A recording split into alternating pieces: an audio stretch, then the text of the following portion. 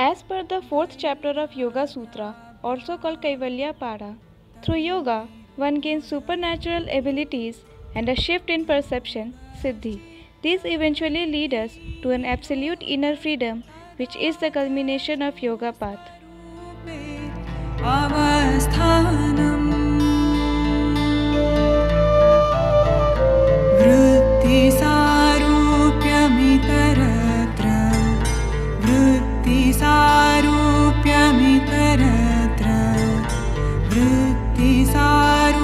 que me interesa.